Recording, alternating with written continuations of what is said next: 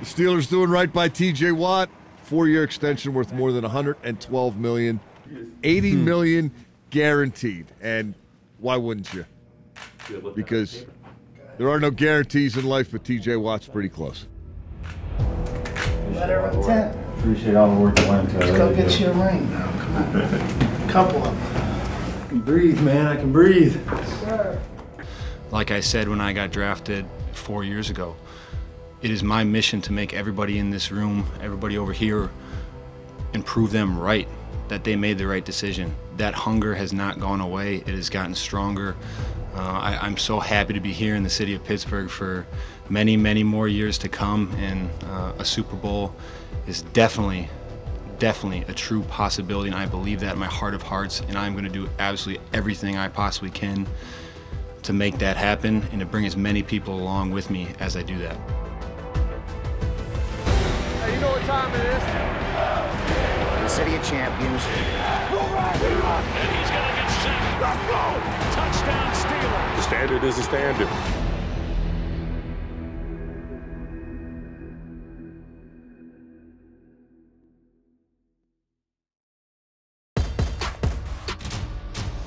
Shotgun snap, empty set. Allen is hit, bounces out of the pocket, he's hit down from behind. Look at that. You got the chop to an uppercut. TJ Watt. What? You say? It's TJ Watt that just did the swat. What a run by TJ Watt right up the backside of Josh Allen. And it happened right in front of Coach Mike Tomlin.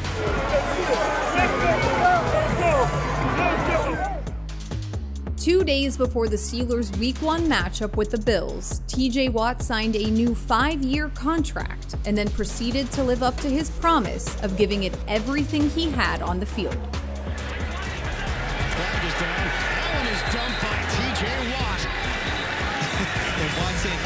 Flag, give me the sack. TJ Watt's like, hey, no, no, no, no, no, no, don't take this.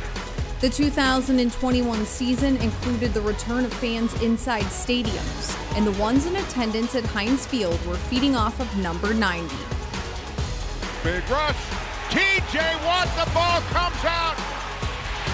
A fumble on the strip by Watt. Watt popped the ball loose from the grasp of Derek Carr. Just as much as sacks and touchdowns are a part of the game, unfortunately, so are injuries. Tyson Alualu, as you guys know, uh, has been placed on IR. Alex Highsmith with a groin. TJ Watt with a groin. So we're dealing with something there at, at that positional group. And obviously, we got Devin Bush and, and Joe Haden, who missed last week. Time heals all wounds.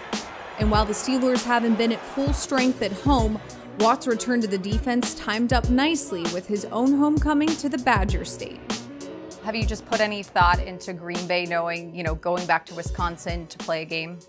A little bit. I'm sure I'll hit like Culver's and stuff like that. I know I've talked about that a lot on social media and stuff. But uh, yeah, I'll have a, a good crowd in the stands, and that's always a special time whenever I get to be able to go home, and especially Lambeau Field. Growing up, going to those games. For the Watt brothers, the road to the NFL started in Pewaukee, Wisconsin, just two hours south of Green Bay.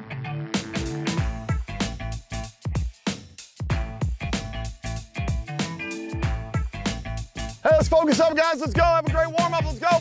Hit. One, two, three, four, five. Good. Nice. Good job. Good job. All right, here we go. Let's go six techs. Let's go six techs here. Six techs.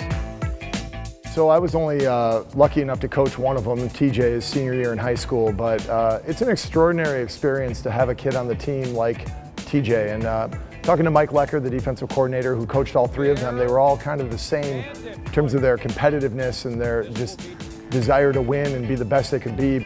Linebackers, keep your depth. Keep your depth. You can't make that mistake. It's fair to say that Pewaukee defensive coordinator Mike Lecker is familiar with the Watt family. He coached all three brothers, their uncles, and their father John. How ultra competitive they all were. They always wanted to be the best in whatever sport, football, of course, but in other sports like track and field, basketball, whatever.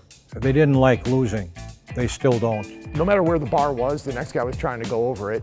Uh, and I, I, think if you know they got together right now and it was chicken wings, they'd see how many they could eat, right? I mean, that's just what they do. They are competitors to the end. Each had different skill set. JJ, the oldest, was the tallest in high school, and at Wisconsin, he blossomed. From there till now, everybody knows the story. Derek, the middle one, outstanding, gifted high school football player. He was a running back here. We played a 3-3 stack defense. He was the middle backer. He made some plays that were unbelievable. TJ was the youngest one. And there was, in a sense, he may not have admitted it, but I know that he was under a lot of pressure. His senior year was the year that JJ really blew up and was having a great year, his first really big year in the NFL. And that's a lot to live up to and a big shadow to live under. You know, Derek was a phenomenal high school player. He was the AP player of the year in the state. Uh, and so I think, you know, really for TJ, he just wanted to be his own man and carve his own identity. And as a senior, he was asked to take over the quarterback position. He handled it beautifully. TJ was known to have good hands as a tight end throughout his high school career. But prior to the start of his senior year, Coach Frisky felt that a position switch would be best for the team. You know, his good hands weren't going to be very useful if we had no one to throw him the ball. And so, from my perspective, I felt like if we didn't have a guy at quarterback that was going to be able to get him the ball where we could really use him, why not give it to him every play and see what he could do with it? He was the best player we had. You know, luckily for me, it proved to be a, a good move. In a perfect world, he would have stayed at tight end, but uh, moving him to quarterback was something I felt we needed to do for the team. And you know, in talking to Wisconsin in particular, because they were pretty heavily recruiting at the time, um, you know, they were fine with it. And they, they said, you know, we might be recruiting as a tight end, but we understand at, at your level, you got to do what you got to do for your team. And certainly it was nothing, it was not going to be any sort of a dark mark against TJ in his recruiting process. So uh, interestingly, you know, he was our holder and our punter and a whole lot of other things too. So one day we were out here before practice and Coach Frisky runs a rugby punt and he asked TJ, did you ever rugby punt? No. Give it a try. Well, I threw him a ball, like, hey, just run to your right and kick it. So without any practice, he goes out there and rugby punts it 80 yards. 80 yard punt. And I looked at Coach Lecker, our defensive coordinator, he looked at me, and I said, okay, I think we found our punter. The sound of that ball hitting his foot is something I'll never forget.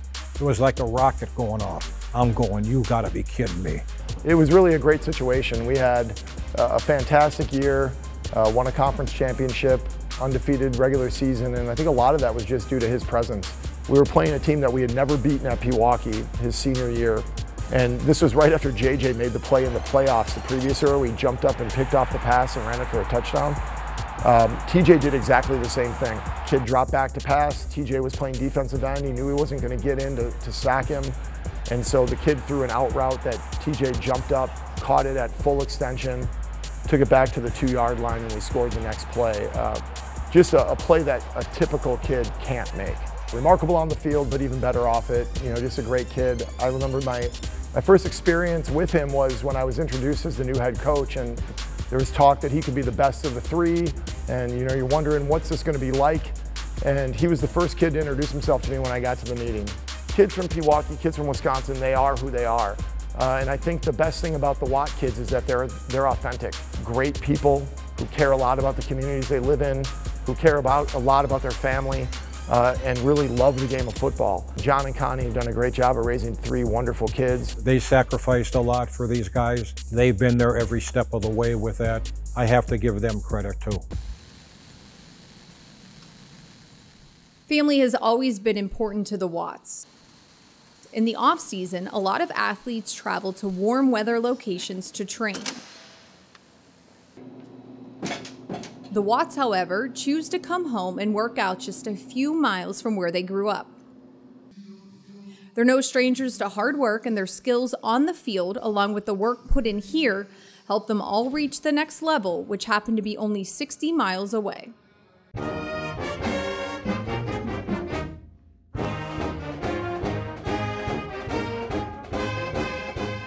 Yeah, I think it first started with just conversations. You know, had a lot of confidence that he'd be a really good tight end.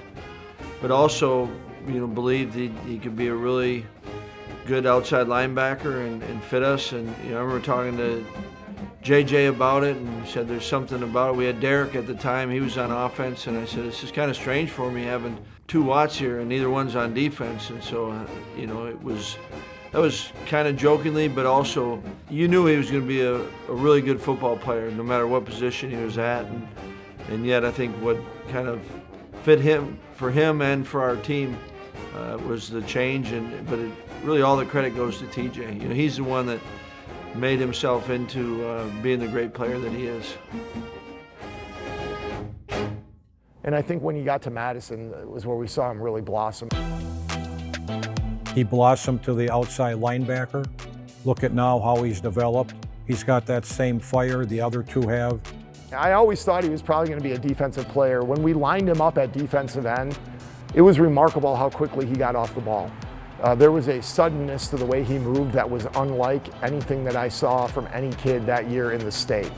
Yeah, he, he did uh, everything you'd want an individual to do. In the way that he approached, you know, not just meetings, but practice and when he'd train, you know, things he did off the field, uh, as he kept progressing, gaining confidence with that, and, and the way that he approached each and every day, and his work ethic, and, and obviously has talent. Really, all the all the guys and what they're doing, you know, whether we're talking about TJ or Shobes, Derek, you don't know what's going to happen in the in the future, but you're also not surprised when you do see him having success.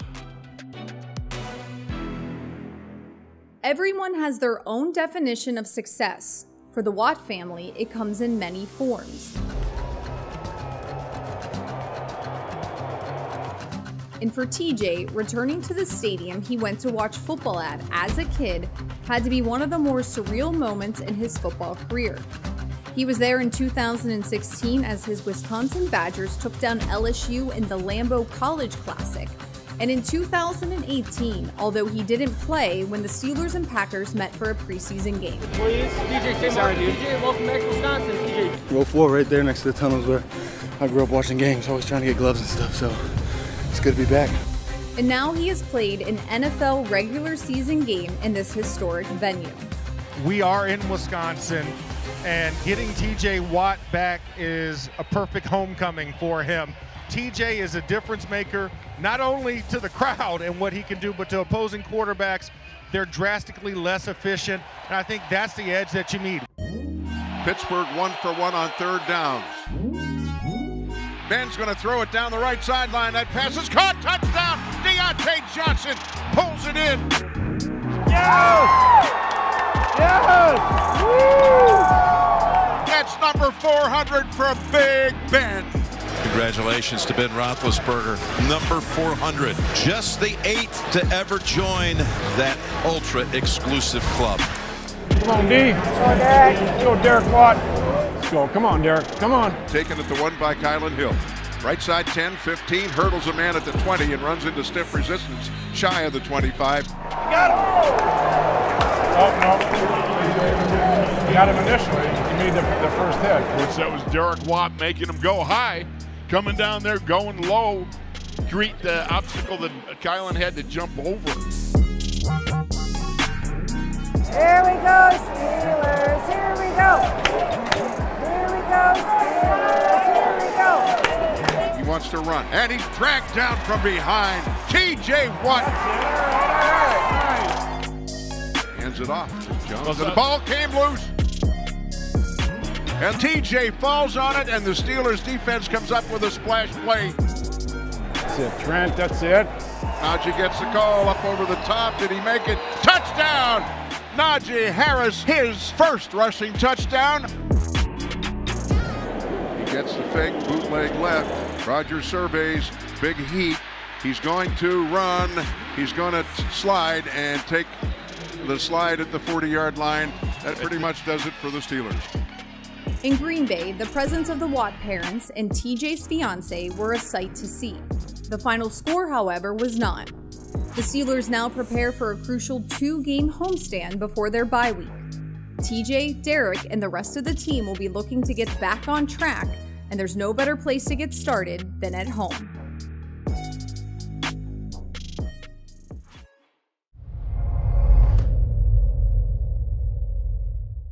What's up, Steelers Nation? It's TJ Watt. Welcome to the Pittsburgh Steelers official YouTube channel. Make sure you subscribe to our channel to stay up to date on everything going on in the Steel City. Thank you for being the best fans in football. Here we go.